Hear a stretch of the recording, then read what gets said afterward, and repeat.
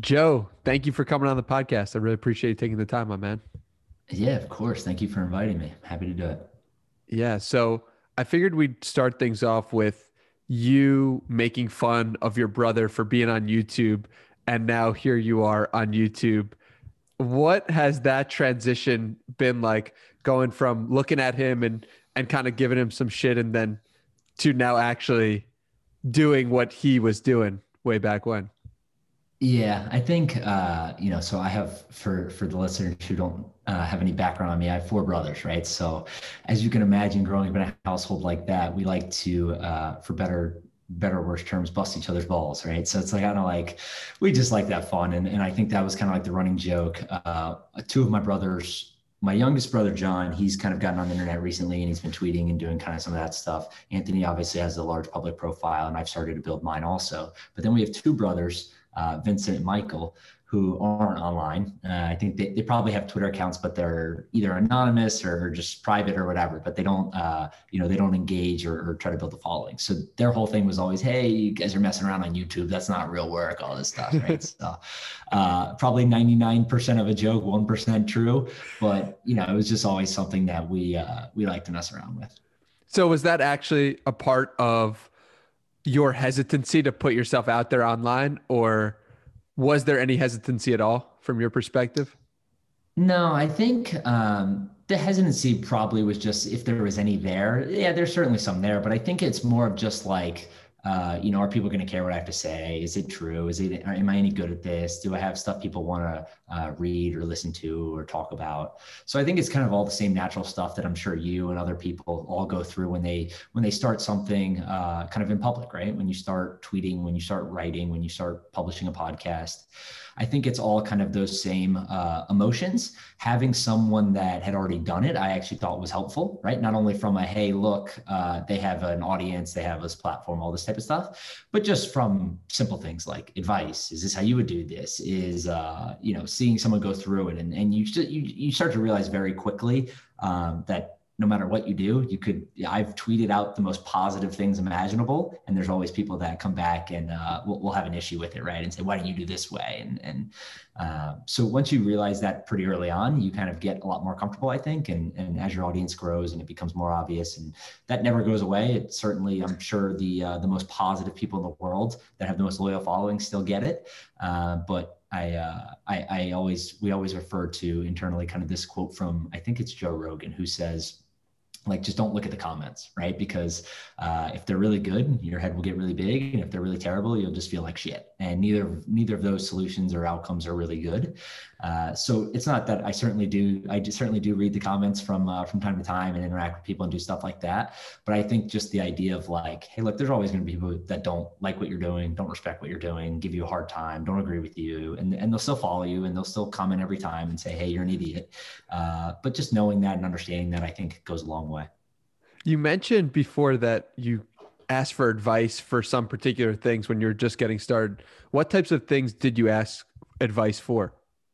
Yeah, I mean, I think there's uh, there's probably like uh, obvious things like, hey, is this how you would structure this? Is this a good thing to tweet out? Uh, what time should I do this ad? Uh, is this the right way to phrase it? You know, just like little things like that. I think having someone to kind of uh, lean on, whether it's my brother or my girlfriend, other people, right? I think uh, those are things that I've always kind of relied on, whether it's online or in personal life. And then there's, um, you know, there's just things that someone who's done something before, right? I, I, I don't know this the straight up piece of advice, but everyone always says, Hey, look, if you're looking to accomplish something, go to someone who's already done it because they can help you out. They can tell you how to do it, all that type of stuff. So it's the same concept kind of uh, internally in our family, right? It's like, Hey, look, we're all kind of building these audiences together. Um, everyone has, you know, different experiences, but at the same time, we can all leverage each other's kind of knowledge and experience and all that type of stuff to help each other out. Yeah. So how exact you started what in August of 2020? Was that when you started putting out content? I think, I think uh, July, yeah. Okay, so July of 2020. Now we're sitting in June of 2021. I'm curious, going back to July of 2020, how exactly did you measure success a year from when you started? And has the success been more than you expected? Is this what exactly what you expected? Talk to me about reflecting on that journey. Um, yeah, like it's been crazy, man. Like I just, uh, I, I certainly measure, I would say that on some scale, I measure it the exact same today as I did then. And then on some scales, I measure it completely different. So what I mean by that is like when I first um, started writing, I had a Substack for months and I didn't write a single thing. So if you look at my chart, it goes like this forever. And then all of a sudden it's like, eh, and it goes like really, really, really slow. And then like it goes bigger, right? So I think part of it was just getting started. So there was always kind of like this desire to do something like that and kind of put myself out there and then just really just pushing myself over the edge. Um, but at first, right, like I think everyone does it. You, you see it and you're like counting the number of subscribers. You're like, oh, one more added today, two more added today, three more added. Like, did this person sign up? I told them about it. They should sign up, right? And you just start to, uh, you know, you're like very meticulous over kind of the details at first. And some of that goes away. Um, but I'm certainly, I, I'm still meticulous over it, right? Like I, I check every day the number of subscribers. I check people who unsubscribe. I check the open rate. I check kind of click throughs. I check all that stuff, right? And I think it's, um, I think that probably will never go away. Maybe to some scale, I'm not as, uh, as kind of detailed about it as I was, but I certainly still check all that. But yeah, it's gone um, much better than I, I expected. I think uh, I had some goals in mind when I first started, and they were just, um, looking back now, they were just minuscule kind of compared to where I've gotten and all that type of stuff. And I don't think it was necessarily, um, I think it was a couple things. Probably there was some lack of, of confidence, not because I didn't believe that I had the intelligence or the ability to do it, uh, but just I had never done it, right? So you, you, I think naturally, kind of when you start something new or you're, you know, doing something that you're not experienced in, you probably have some type of kind of uh, consciously conscious belief that you're you're unable to do it right? So i think that was probably part of it. Um, and then over time like that just naturally goes away. So i i saw things start to compound and and the sayings are true right? Like just doing it every single day it helps. And i was my my newsletters monday through friday. I try to get out you know a number of tweets during the day. Everything compounds on each other. I do podcasts like this. I, I do a bunch of other stuff. And it's just kind of like over time, maybe, you know, some weeks are great, some are terrible, some days are great, some days are individual days are terrible. But when you start to uh, kind of just stack the good ones on top, we're almost a year over now, and uh, I'm at almost 250k on on Twitter and and 40 something on the newsletter. So it's uh, it's been incredible. So what were those early goals, if you don't mind sharing? Yeah, I think uh, I wanted to have 10,000 on the newsletter by uh, 12 months, I think was the, the original goal. Um, so we're kind of like 4X that now, over 4X that, which is, which is great. Um, and then I don't even know what Twitter was. I want to say Twitter was like, I, I don't even want to say the Twitter number. The Twitter number was stupid. It was so small compared to kind of where I've gotten now. Um, but, but to be honest, like I just, uh, I get, as you can imagine, right? You're you're kind of in this creator space and, and building your podcast and doing these same things. And I always get asked uh, one similar kind of piece. Everyone wants to know what's like the one thing that was the biggest kind of help or attributing factor to you growing. And uh, I, I always just say like I was just lucky enough to find one thing that worked really well, and I just doubled down on it really hard, which were those. Uh, I do a bunch of Twitter threads, right? So I knew coming in that I had one inherent advantage, which was my brother had a large online audience. He had 250, maybe 300,000 followers at the time. And his has grown and scaled up really well at the same time uh, as mine has. But I knew originally, right? Like you need two things to really be successful and it's really good content and then large distribution and you need to if you don't have that distribution you need to find it somehow whether it's dming people on twitter whether it's kind of reaching out to people whether it's just scaling up over time or whatever it might be uh, but i knew i kind of had help in that place right and and retweets help they don't i think they're probably a little less helpful than everyone thinks they are uh, on some degree but if you have good content they can be extremely helpful so i knew that if i could kind of ace the content piece that it would go really well so i was writing these newsletters and the first couple i wrote i was writing for uh, most people don't realize this by the way. My newsletter started out as I was just sharing links to an interesting article a day that I thought was cool. And um, looking back now, it's just completely different from what it's kind of turned into. Uh, but it's just funny because I think I certainly did, and I'm sure other people do, but I stressed really hard over everything being perfect when I first started, right? Like I wanted, I wouldn't launch it. I wouldn't send one out unless the logo was right. I wouldn't do it if uh, I didn't have three people read it before and tell me it was good, right? And looking back now, it's just not even considerably close to what it's become.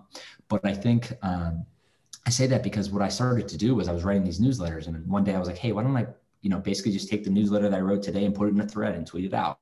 Anyone who's not subscribed, and if my brother can retweet it, they'll see it and maybe they'll say, "Hey, I like this," and I'll subscribe. Um, and the first one probably got 100 likes, 200 likes, 300 likes, something like that, right? Which is which is was amazing to me when I first started. It was amazing, and I got you know 30 signups, 40 signups. And that was more than I had at the time. So I was like, this is fantastic. Right. And I'd already kind of run through the family and friends and maybe I had a couple hundred, but I was getting 30, 40 when I did that. So it was, it was great. And I, uh, I was like, okay, so this is clearly kind of, I did one and then I did a second one a couple days later. And I was like, okay, this is working again. And then I did a third and it worked again. And then I sat down and I was like, hey, look, this is by far and away the best kind of growth channel that I had. And, and to be fair, this was, two months in, maybe a month into me doing it, right? So I hadn't tried everything. I had done message boards, right? I've been spamming people. I've been doing all those kind of things to uh, just hustle. But I think once I found that out, I was like, all right, the easiest way to scale this is just do it every day. So every single day for like six months, maybe maybe four to five days a week, right? So some weeks maybe there was four, most weeks five, but uh, for six months I did a thread, right? And some days it was the newsletter, some days it was a different story. Some got 200 likes, some got 45,000 likes, right? And it just, they compounded over time, right? And it's just like some hit, some didn't. But if I was just consistently doing it every single day, I knew that over time the list would continue to grow and the following would continue to grow. And it has, and it's worked really well. How do you figure out exactly what to write about on any specific given day? Uh, I get asked that question a lot too, and I don't think there's like a, a golden answer. I, I, I, basically what I do is I just search a bunch of different sites. I'm very uh, kind of in tune with what's happening throughout the day, topics over time. So I have like a running list of ideas. Uh, some are like longer term in nature, things that require a lot of research, and then some are things that I could probably do tomorrow if I really wanted to. Um, and occasionally I'll knock a couple of those things off, and then I'll mix it in with kind of some current events, right? So if uh, one example would be like the Minnesota Timberwolves a couple of weeks they got sold or you know they had an agreement in principle to get sold to Mark Lore and Alex Rodriguez. So that's like something that's very uh, on topic. People want to read about it and talk about it and all that kind of stuff. So I'll write about things like that that come up. Uh, but don't get me wrong, there's certainly days where I'm like, you know, shit, this is a daily newsletter. I got to go find something to write about. And uh, there's very late nights, very early mornings. Um, and, and that's, a, I think, another very common misconception is that I have these things done like days in advance and they're ready to go. Uh, and that that is certainly not the case. There's there's times where that is the case, and then there's a lot of times where it isn't, where I'm kind of uh, waking up and writing and doing different things to to make sure I get it out. Um, but the daily things are grind, but I think it's helpful. It's you know keep keeping mind share with everyone every single day. You just got a bunch of shot on goals, right? So you can not only from uh, kind of monetizing it through an advertising perspective, you can do five ads a week instead of one or whatever. But uh, you're in every you're in people's inbox every single day, right? So they see your name, they they they, feel like that connection is a little deeper than maybe once a week, um, and it's it's a lot of effort, but I think people appreciate kind of that daily nature of it. I know you mentioned that quarantine was really when you started taking inventory of your life and realizing that you didn't want to go down the route that you were previously going down. I'm curious was there a specific moment where you stopped and said, I can't do this anymore. I got to go a different route? Or was it more of a gradual process? Yeah, I think it was gradual, to be honest. Like, there's, I think everyone has good and bad days, right? So, like, I, for the people that don't know, I was at JP Morgan previously. Um, and, right, like, that's an excellent job. I was super, super, super, super happy when I got it. Um, I, I didn't see myself doing that in the short amount of time that I was able to get it out of school and all this stuff. And um, I was just, I was really happy to be there. And then when I got there, I was like, eh, this probably isn't exactly what I wanted to do. Right. And I really mean that from um, the, the aspect of, I didn't see myself doing it when I was 45 or 50 or 60, right? And you start to look at these guys that are coming into work every single day in New York City and they're commuting an hour and a half in and they're doing the same thing every day for 10, 20, 30 years. Um, and it's just, it's it's it's uh, rewarding and it's challenging and it's all those things. It, it, checks a lot of the boxes, but it just wasn't what I wanted to do long term. And I think when I started to see that day after day after day, it was like, okay, uh, maybe this isn't exactly what I want to do. And then when quarantine came up, it was just like the perfect opportunity, right? Like it was just kind of like I'm at home, I have a little more free time. There's no kind of commuting. Uh, I have more personal time. I can work on this when I can. There's you know just there's a little more urgency to kind of get something going. Um, and then when I started, I was I was probably writing the newsletter and tweeting for I think I left my job in September, so a few months, right? Uh, July, August, September, yeah, so three months. And uh, basically, when I started and I saw that it was working, and I was like, okay, the newsletter, maybe I had like 5,000, 6,000, 7,000 subscribers or whatever, maybe 10, 15, 20 on Twitter. But I could see that it was, it was working. And it was one of those things like, look, dude, I, I was thinking to myself, Hey, I'm 26 years old. If I do this for 5, 10, 15 years, like this is just going to keep compounding. If these are the results now, like just put in the work and it'll go. Um, so once I figured that out, it was like, okay, how can I start doing this full time? And uh, that that was really the big shift for me was just kind of being able to do it all day long right? And, and getting rid of uh, kind of i was doing both jobs probably not to the level that i wanted to personally. Um, I, I don't think the people at JP Morgan, uh, they certainly didn't have any issues with it. There was no problems or anything like that. But it was just kind of like the level and the quality of work that you want to put up for yourself probably didn't match uh, kind of what was going on when you're trying to do two different jobs, right? So I had to wake up at 5 a.m. to write the newsletter, 5:30 a.m. to write the newsletter. Then you got to do it at night. You're trying to get a couple tweets out during the day and follow the news and talk about things, and then you got to do your full job that usually requires 60, 70 hours of work on a normal week. So it's kind of like it's just it was it was a lot. So uh, that was my main focus after kind of a month or two. Uh, and lucky enough for me, look, I was in a good situation I was able to find kind of a, an exclusive sponsor and uh, monetize it pretty quickly and, and, get out the door and, and be able to start build this thing. And that's where you kind of saw the graph go from, hey, kind of slow and steady to kind of start to go uh, north a lot quicker. And I think that was kind of like a super, uh, not only a transitional point, but super helpful point in kind of building the business. How do you figure out exactly when's the right time to quit your normal job? Um, I don't know. I think it's different for everyone, right? And I think so. My my, I'll tell you my thought process, and people can kind of take it for uh, what they want. And I haven't done research on this. I haven't talked to a million people or whatever. So this is just solely my opinion and my experience. And uh, if it's helpful for people, if that's great. If it's not, that's great too. So my whole thought process on it on it was once I was able to find an advertiser uh, I went to a bunch of people and I was like, hey, look, uh, these are my growth rates. I showed them everything. This is kind of where I think I'll be, whatever. Uh, I wanted to find someone that was long enough term deal where I felt comfortable enough to leave my job. So I was like, let's do a six month deal. Uh, I just want to make similar to what I'm making kind of on a salary basis um, per month. And then um, I think you'll get a, I think I was very honest and open and clear. And I was like, hey, look, I think uh, I'll probably get a good deal for the first two to three months, to be completely honest. I think I'll get a good deal uh, based on relative what you're going to pay me, where my audience size is right now, and all this type of stuff. And then I think you're going to get a really good deal in the last three to four months because my audience is going to continue to grow. The amount you're paying me is not going to be relative to what I could go charge other advertisers if it continues to grow at the rate that I think it will.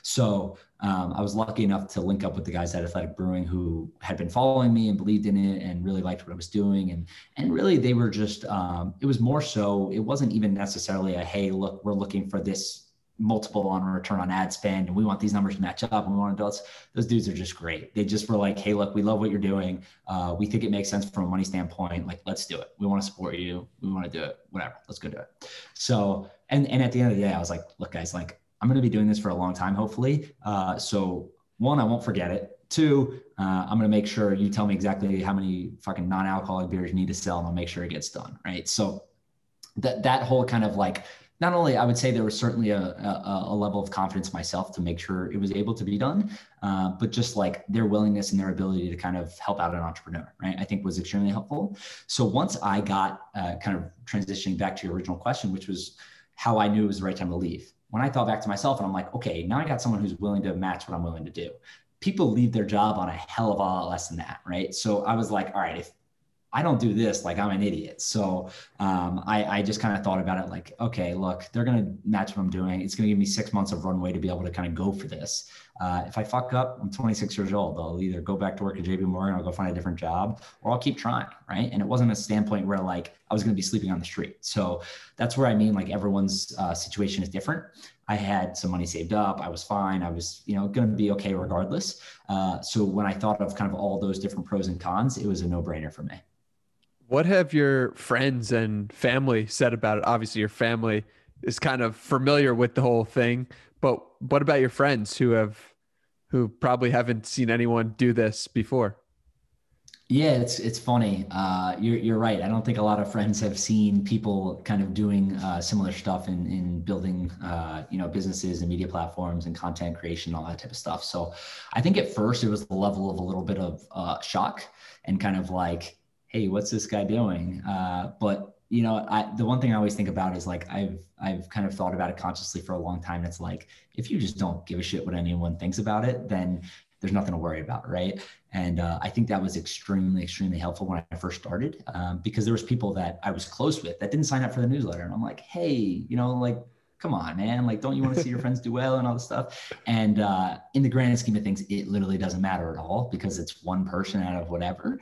Uh, but yeah, I think it's natural for anyone to feel some type of like, you know, why didn't they do this when you first started? The numbers are low and you're looking for support and all that kind of stuff. And there's uh, there's been tons of friends that have been extremely helpful and supportive and all that kind of stuff. And I think as I've grown and the platforms have grown, and and uh, I did a podcast with uh, an interview with Gary Vee the other day, and people were like, "Hey, Gary Vee," and, and I love Gary, but it was just funny because my friends were like, that was like a turning point for them, like, "Oh, you're interviewing Gary Vee," and it's funny. There's there's been a number of things like that, or or Sports Center reposting things and stuff like that, where like, okay, this is slowly turning into something that's a little more legit and recognizable and all this stuff, and and I think over time that opinion's probably transferred.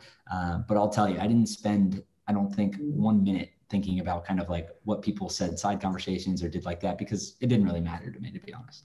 It's so funny that you mentioned Gary Vee being the turning point for you because I did this podcast for three months, interviewed Gary Vee, and all of a sudden I got all this out of the woodwork. People I didn't spoke to it for years, like, whoa, Gary Vee. I'm yeah. like, yeah, I've been doing this podcast. Yeah.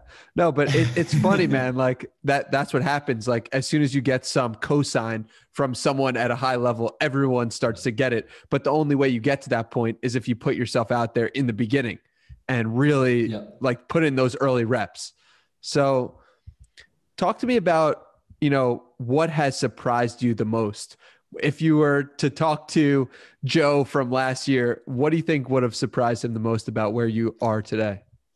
Um, it sounds stupid, but just the power of kind of putting yourself out there on the internet, right? Like I've had conversations and, and dinners and, and, uh, just Twitter DMs and phone conversations or whatever in person with people that I wouldn't have even imagined uh, 12 months ago, right? Like guys that I looked up to from uh, kind of professional athletes and business people and stuff like that, that I just thought were like, when you're not kind of, and keep in mind, I wasn't on uh, Twitter before this, right? So I didn't have kind of the concept of, hey, maybe if I tweet someone, they'll answer and tag me or DM me or whatever. Uh, but like just that whole idea of like the people that I've been able to get in touch with and have become friends with really and and and talk to regularly and all this type of stuff. It's just people that I would have uh, never imagined a year ago and uh, seemed kind of like role models and stuff like that and just kind of um, out of reach. So I think that's certainly been surprising to me um, as I as you uh, kind of grow and some of that things, some of those conversations become uh, you become numb to them to some degree. I think you you start to think, hey, you know, I've had a few of these. They, they this is how it works and all this type of stuff. Uh, but I, every single time, I'm still like, this is crazy, man. Like I'm fucking 26 years old. I started writing on the internet and tweeting and all this stuff, and this guy wants to talk to me. Like it's crazy.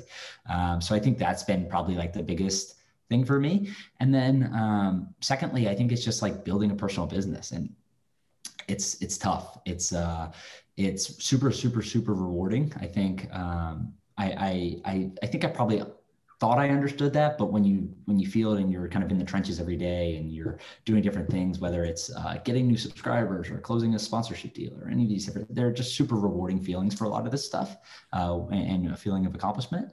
And then um, I, I, think just like the grind of it, I didn't, I, I grew like a whole new level of respect of for people like you or, or, other people who are not only putting themselves out there but creating uh, you know high quality, consistent content for for a long period of time.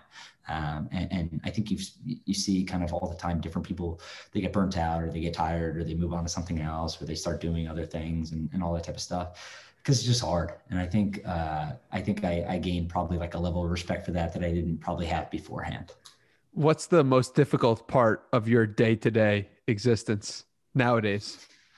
Um, it's just everything. You know what I mean? It's just like everything compounds. So it's like, and I don't mean to be that say that in like a dramatic fashion. It's just like when you think about it, you got to get the newsletter out every day, right? You're you're doing a bunch of different tweets. A million different things come out come up throughout the day. People are reaching out an email, uh, Twitter DMs, and and I'm the type of guy that I, I, like to answer people. You know what I mean? You want to be personable. You want to go out of your way to do certain things.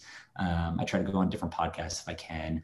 I try to do all these different things, and then you got to work out the sponsorships. You got to sign contracts. You got to do invoices. You got to get the ad copy. And I've had some help recently and stuff like that. But I'm um, uh, I, I don't think I realized when I first started kind of the level that that stuff would uh, would take on a daily basis.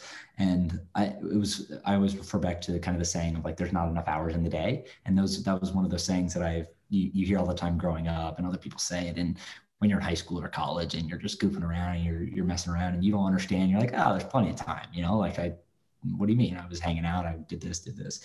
Uh, but as you start to kind of build these businesses and you're doing these different things online and all this stuff, uh, you realize that it's true. It's just like there's just so many different things that need to be done. And it's figuring out kind of that balance of uh, what's urgent and what needs to be done right now, and then things that can kind of uh, take a backseat and, and be done over time. So I think I've uh, I've gotten a lot better about that over the last kind of year. But certainly when I started out, that's probably what I struggled with the most. Speaking of urgent, what do you think is the most urgent thing on your day to day? What is the number one needle mover activity would you say for Joe Pompliano? Um, needle. So I think about that question in two different ways. Urgency is in kind of what needs to be done, right? And uh, what moves the needle is in what needs to be done to help grow the business. So what needs to be done every morning after write a newsletter, right? So that's kind of like my thought process every day is like, one, what am I going to write about? Two, let's get it done right so like it's just something that when you put a deadline on it it's got to get done and you you just go do it right so i think from an urgency perspective there's easy things to say like that that you know they got to get done. You got to go do it. Just go do it. And then uh, from an urgency perspective, kind of like how do you think about building business and stuff? I know that there's there's certain things, right? Like threads, those move the needle. I get followers, I get subscribers. Those turn into more eyeballs, more advertisers, stuff like that. So those are the things that like you prioritize and you start to realize, oh, I haven't done one in two days. Like let me do one today. Make sure it gets done. It needs to be done at a certain time. It needs to be structured right. It needs to have you know. There's just they take a lot of time, right? So there's a bunch of things that go into it. Uh, but from an urgency perspective, I think the key is just focusing on the things that you know, like you said, will move the needle, and it's and it's putting uh, things that may not be as important or whatever on the back burner. So there's things, uh, you know, business structure wise, like did I sign these documents? Did I set this up correctly? Did I do these payments and all this type of stuff? And there's a bunch of stuff that goes into it, as as you know, when you're kind of building your own content. Uh, but it's just figuring out, kind of from an urgency perspective, what needs to be done first. Hmm. So I know your brother just launched the Bitcoin Pizza and I'm curious what your future plans, if any, are for some sort of business in the future using the audience to create some sort of business. Is that like a product business? Is that on your mind? Yeah, we'll see. I mean, I think um, the, the easiest way to think about it is uh, we think of ourselves not as influencers, but entrepreneurs, right? And it's and it's kind of uh, you know people can laugh or say whatever they want when you think about it. But i always i laugh personally when i see i saw an article the other day and i won't name the publication that said it but it was it was a sports business publication and they labeled pat mcafee as an influencer. And i just thought it was hilarious because it's like at what point does he become an entrepreneur because he's a world class entrepreneur. He's built a, a, a, a, hundred million dollar plus business, right? And it's like this thing is a behemoth. It's massive. He does a bunch of different things and all this type of stuff. He's not an influencer. An influencer, he's just not an influencer. He built a massive business. So um, I think some people get offended by that. I don't really care about it personally, like a name calling thing. Uh, but I just think it's funny because when you start to think about kind of the life cycle of uh, of someone online who's doing content, all this type of stuff. The key is really, in my opinion, just starting to launch different products and businesses and revenue streams and, and, and really becoming an entrepreneur, right? So uh, I always thought of it as kind of that capacity. So I've done uh, I launched an ETF with the guys at Roundhill. So we have this uh, this ETF called MVP. It lets you invest in professional sports teams, right? And it's not something that uh, is probably like the most genius thing in the world, but there wasn't one out there. It makes money. It does all this stuff. It gives exposure, all this type of stuff. So things like that I think are cool. Um, and then all this really just plays into the investing side, right? So one of our core beliefs from an audience perspective is like the best investors are going to have large audiences online, whether that's on Twitter, YouTube, Instagram, whatever it is, right? Just like large profiles, newsletters, everything. Um, and, and, what that really gives you the ability to do is one, it gives you access to deals, right? People want to be involved with you because you have these audiences. It gives you distribution, uh, and, and, really what that what that enables you to do is create inflection points for a lot of these businesses. So right, you have a business, you invest in it, they find product market fit. How can you blast it out to kind of everyone, help them with distribution organically, and making it meaningful inflection inflection point in their business. And I think that's how we think about it really uh, when, when it comes down to it is kind of like how can we build products, build businesses, and then invest in other businesses with the cash that we kind of pull off from a content standpoint. Makes sense. So I'm curious, you know, you've combined sports and business, and obviously Darren Rovell did that first and is known as like the godfather of that on the internet. How much yeah. of you said like, is this space saturated, or I'm just gonna follow what I'm what in my heart I know I should be doing? Um, I honestly, maybe it was me just being naive, but I didn't really think about it like that. I thought uh, I was just super passionate about it, and I knew that I was good at it, and it was like something that I was always talking about all the time. And and I I continuously found myself telling people things they didn't know, and just being super interested in things. And like when you realize that, that just a light switch turns, and you're like, okay, like I should probably do something about this. Uh, but like when it comes to Darren, first off, Darren gets a lot of shit on the internet.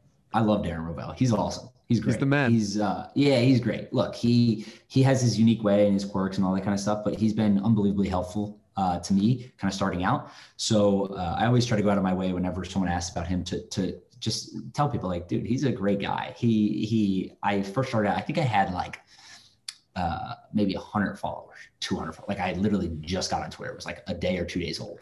Um, and I said, Hey, I tweeted out like an idiot. And I was like, I'm going to be tweeting about sports business. Follow me. my brother was like, Go follow. Darren Rovell follows me. He was one of like my first like two or 300 followers. And at me, like just starting out, I was like, Holy shit, Darren Rovell just followed me. Uh, and now like we're friends and we talk and all this kind of stuff. And it's, it's funny.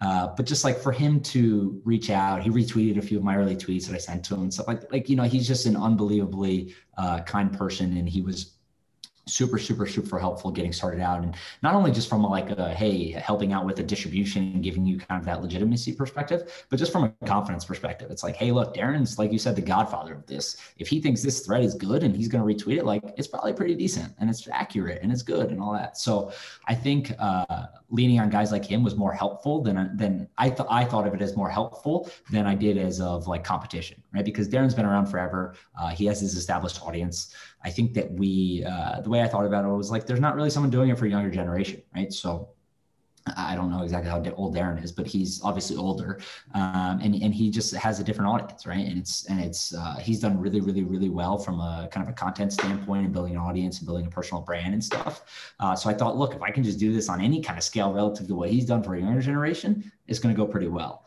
And and like I said, credit to him, he was uh, he didn't necessarily see it as competition either. I don't think he was more helpful than hurtful, um, and, and that went a long way with me. Yeah, win and help win is what it seems like he did for you, and obviously your brother did the same thing, basically free distribution, free retweets. How much of you?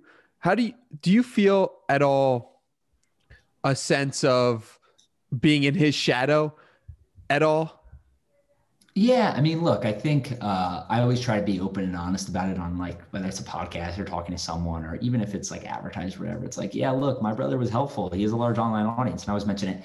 But I will say one of the things that I've noticed more recently is like now people are some people I talk to probably about fifty percent are like, oh, I didn't know you had a brother, right? So like I think as you start to expand, a lot of that naturally kind of goes away. Um, and, and there's certainly people that look, there's plenty of people on the internet that will tell me uh, I'm riding coattails and doing all these things and whatever, right? There's just like, there's haters everywhere, like I was talking about earlier.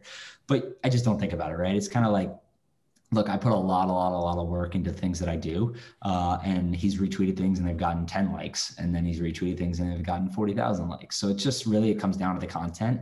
Uh, and I know, uh, true to myself, like if you just put in the work and you continue to do this every day and you're good at it and you, you do the right things and you do it in the right way, um, it's going to happen regardless. And, and as long as you're open and honest and clear to people about kind of the advantages that you had, I think people respect it look, it's like I didn't ask for all this stuff. It's kind of like, hey, look, yeah, we're brothers, right? We we kind of uh, work together on this stuff. But I think the one thing that's going to be helpful is like it eventually just creates a network effect, right? Of like, hey, look, I'm up to 250,000 now, right? And he's going to be at a million soon. And I'm going to be at a million eventually, right? And then maybe he'll be at two. And you start to look at how we can play off each other of him building businesses and me building businesses and working together on these things and retweeting things and sharing content and kind of just the flywheel of uh, each other's newsletters and YouTube channels and platforms and stuff.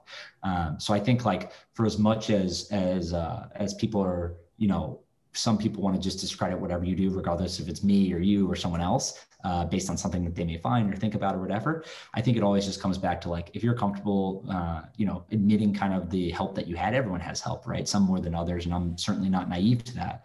But I just think that uh, if you're comfortable admitting that and talking about it, and then you show that you put in the work, right? So like I've had people come at me online before and other and, and other people step in and like, hey, look, dude, he did four to five threads for six months straight and they take four to five hours each. Like, I don't see you doing that.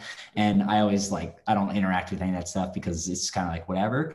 But I think uh I, have always thought about it personally. It's true, right? Like if you put in the work and, and all this stuff, then uh, you can certainly sleep well at night. Yeah, you've had advantages, but you certainly put in a, a great deal of work, and it's so cool to see someone putting in work succeed. Um, where do you go to get away from it all? And when you get on Twitter and you start getting followers and you start getting retweeted and and start talking to some of your heroes, you start being like, wow, this platform's amazing. And you start to get addicted to it in some way. I don't know if that's happened to you, but where do you step back and say, how do you step back and where do you go? And is there a place away from Twitter that you can just regroup and re rejuvenate? Yeah, I think uh, that's one of the things that I struggle with, and I know a lot of other people struggle with, which is really just like one as an entrepreneur and someone who creates content online all the time, uh, especially kind of in a position that I'm in where it's like I don't necessarily I'm I'm not a reporter, so I don't like go chase sources and I do all these things, but I know that um, you know if breaking news comes out, I need to find it and I need to tweet out or something like that. So I think that's something that I struggle with. Uh, but it's the same things I think a lot of other people do. So like my brothers and I, we we fuck around. I have a girlfriend. We go to dinner. Uh, I was in pursuit. I worked out a lot before I started doing all this. So it was every single day, whatever. So like I've slowly started to pick up some of those habits again and start doing them. And I think those are all helpful, uh, especially the exercise portion. I think right. Like it's just like it helps shake your mind off all this stuff. Um, but my brothers and I, we like to keep each other grounded, you know, make fun of each other, say you're not really that important, right? Same thing, the comments about the YouTube channel, right? Imagine uh, someone telling, you know, my brother who has 900,000 Twitter followers and, and 100 and something on YouTube and 100 and something on newsletter. Hey man, go back on YouTube. Like, right. Like it's just, it's uh it's, it's, it's a joke, but it's just funny. Right. And uh, I think those are like, you know, just important things to keep each other grounded. Um, obviously uh, relationship with my girlfriend is important, family, friends, all that type of stuff. So I think it's just finding things like that, that, uh, you know, you can get offline for a little bit and, and relax and do all that type of stuff but it's certainly harder to take a vacation. I know that your brother joined the military while he was in college, and I'm curious what that felt like from your perspective as a younger brother. Were you worried, anxious, happy, proud? What what was going through your mind when your your brother joined the military? Yeah, I um it's a good question. I think I was when I when he first went. I, I, could. I'll have to send you a picture of it. It was is hilarious. I look like a ten year old. I was uh, I was just young, right? So uh, I don't think I really understood the gravity of it necessarily. Like I understood what he was doing and that there was risk and all that type of stuff. And, and you go through all the motions of, uh, you know, being sincere and catching up and talking and writing letters and all this stuff. And uh, all that was certainly important. But I think looking back, I understand probably a lot more of the gravity of the situation now than I did previously. Um, but from a pride standpoint, yeah, hell yeah. Like I think uh, it was awesome, right? Like looking back, like it's, it's great. I, uh, I, it's it's awesome, right? I just think like to be able to go do that. Um, he went to basic training when he was in high school, right? He graduated high school early in December, uh, went to basic training and said, look, this is something I want to go do. Um, so from just like a kind of understanding a vision and understanding what you want to do and having perspective on not only like your situation currently, but life in general uh, at that young age, it was certainly something that I admired as I got older, especially in high school and things like that and in college. And then as we get older now, um, I think it's like easy to forget sometimes, like not only myself, but other people and stuff. It's just like, because it was so many years ago now. Um, but thinking back on it, whenever we have conversations like this, yeah, certainly there is uh, kind of an immense amount of, uh, of pride and thankfulness and stuff like that.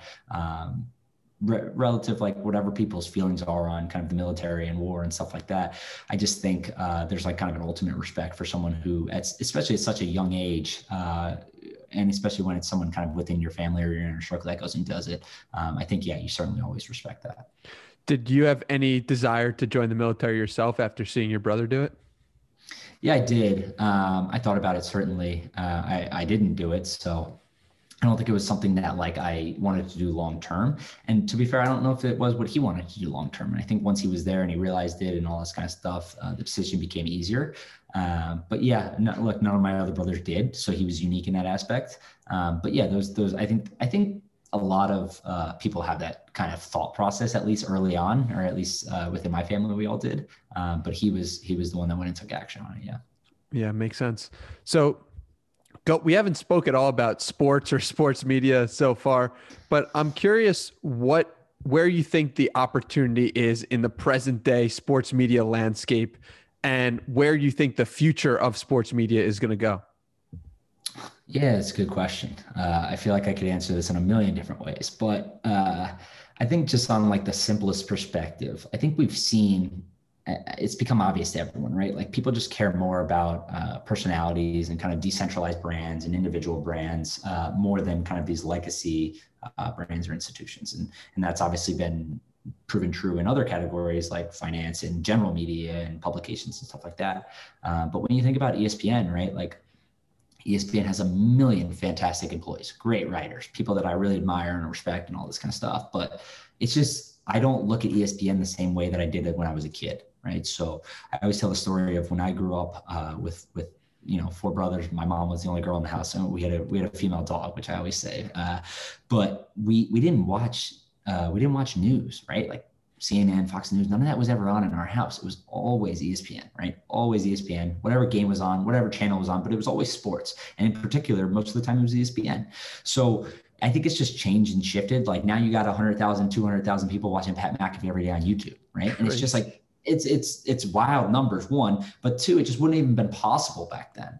So i think like when you start to look at it in that kind of scope of like hey 20 years versus today uh, there's obviously been a bunch of differences and i think it will continue to change over time and, and, and individuals will continue to grow and be powerful and stuff like that. Um, so i think that's important from a media landscape. I'm trying to think like um, if there's any other like macro themes I really believe in. But yeah, I mean, look, I think that what I said there is true for outside of sports media too, right? I think when you think about it from uh, kind of media in general, venture capital, uh, all that type of stuff, that the internet has shown that kind of the individual that puts himself out there and creates content and creates that brand or that awareness or that uh, kind of connection with the audience has uh, is kind of rewarded, right? And I think that's that's true for most industries. You've mentioned Pat McAfee a couple of times, and I'm curious, what exactly do you admire about Pat McAfee? Uh, a lot. I think he is. Uh, I don't know him personally. Um, I mean, we've like interacted a couple of times on Twitter and stuff, but I don't know him personally. But one of the things I really he's he's a unicorn when it comes to uh, uh, what he does for a living, and I mean that is in everything from the kind of just the show uh, to his content to his Twitter, everything. He's just one of a kind. I think he's incredibly, incredibly, incredibly talented. Um, I think he's probably one of the more talented people in sports media.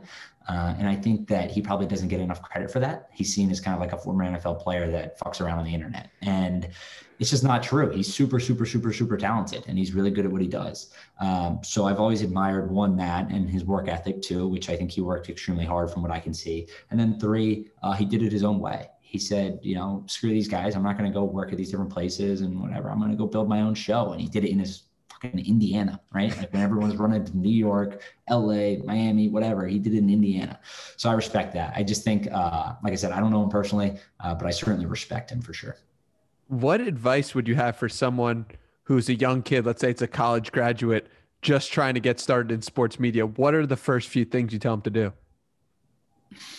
See, that's a. Uh, I always have a tough time answering this question because sports is it's an industry that's unique in the fact that I think it's probably one of the hardest industries to get into, and people outside of sports don't uh, accept that answer and they think it's a lie and they don't get it.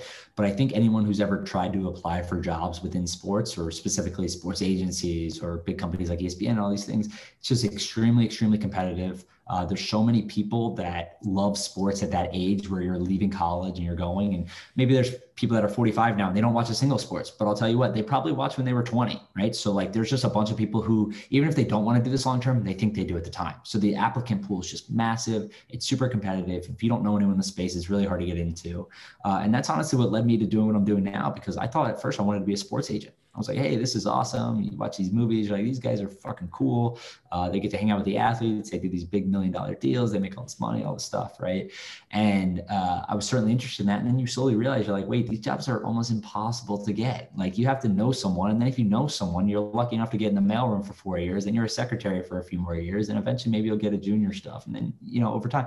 And that's not to say it's not worth it because it is for a lot of people, right? You put in the work and you make connections and, and, and you uh, kind of do your time but it's just super, super, super competitive. So I think when someone's trying to get into the sports media industry, it's just hustling. You know, it's just figuring it out. It's figuring out what you're good at, your advantages, your connections, all that type of stuff, uh, and just going for it. And like for me, my story is probably a little unique in the fact where like I had some advantages and stuff like that, but I knew, uh, you know, like you just got to go for it. You got to hustle. You got to go for it. Uh, no one's going to help you out unless you ask for it, right? So when it comes to uh, whether you're doing content online or whether you're looking to move careers or jobs or firms or agencies or whatever, uh, you got to ask people for help. You got to be willing to help other people.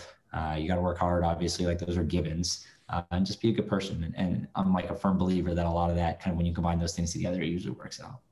Yeah, you mentioned that someone who's 45 was probably watching sports when they're 20 and i'm curious if that's something you're nervous about or have considered growing out of sports in general especially covering it so much and so often. I know personally i wrote a Knicks blog when i was 15 to 17 and by the time i was 17 i was like i don't want to watch another Knicks game. I'm over this. But yeah. is that something you've considered or, or thought about? Are you are you speaking about me personally or just the audience size? Yeah you personally um, no, look, dude, I, I, I love this stuff. I think it's, uh, you know, and especially when you're in it every single day.